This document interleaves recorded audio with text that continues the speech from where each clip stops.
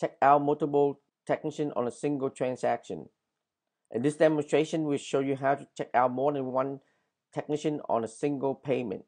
Let's begin. Select Pam, enter her service, then click More, select the second technician, enter her service,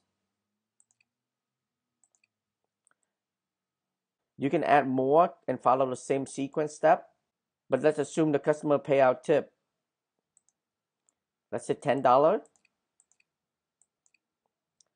Because of multiple technician, the tip divider pop up and allows you to divide the tip among the two. You can either choose the option of divide evenly or divide this ratio based on the service. Or you can enter directly the amount by selecting Pam enter six dollars. And select Jenny and you can set the remain. The remainder must be zero in order to exit the screen. Now you see the tip has been injected into each technician. Now let's assume they paid credit card. Please complete the charge on your external terminal then click credit card. Enter the last four digits of the credit card number for your reference. And click done that's completion of the checkout of multiple technician on a single payment. Let's show you how to modify the multiple technician transaction. And click more. Jenny.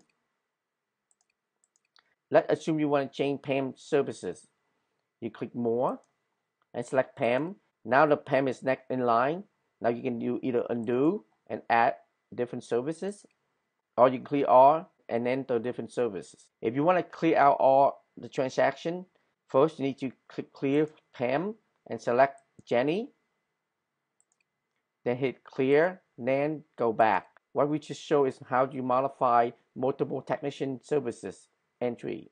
Thank you.